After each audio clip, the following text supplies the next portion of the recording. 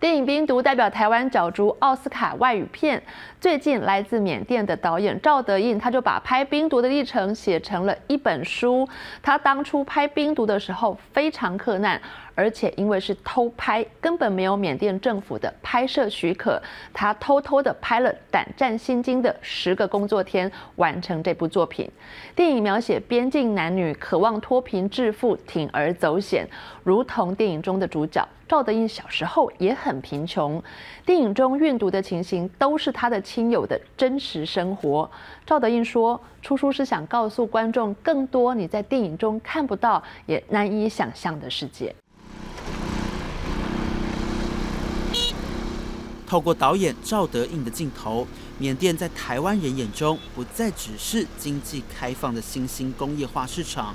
虽然透过一部部作品惊艳国际影坛，不过赵导想告诉我们的故事还没完。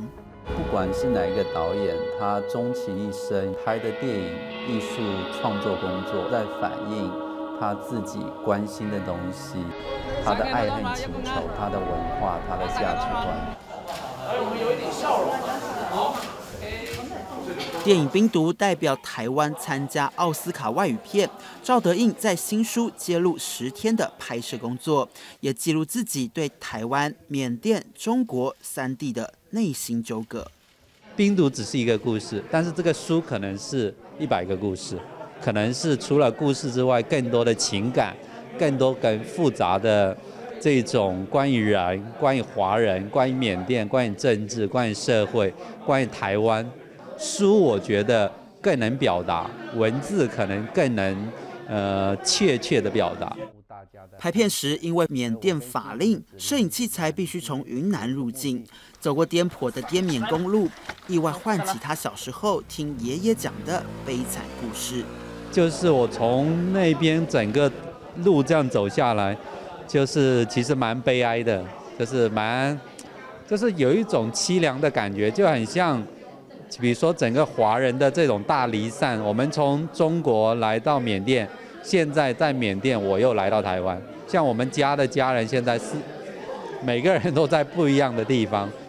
返乡拍片，加上特殊的族群背景，让他对异乡人的身份感触无限。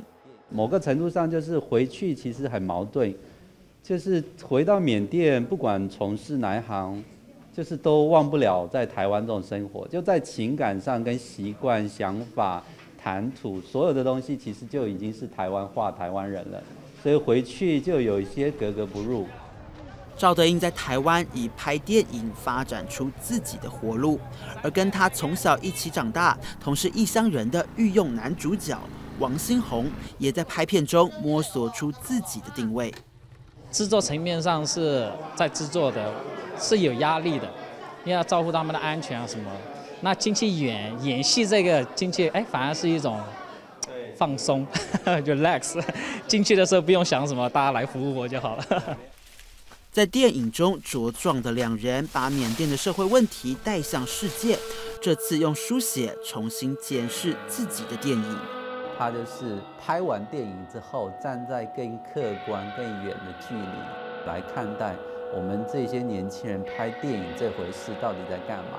赵德胤说，他将继续到各地记录底层华人社会最真实的生活样貌。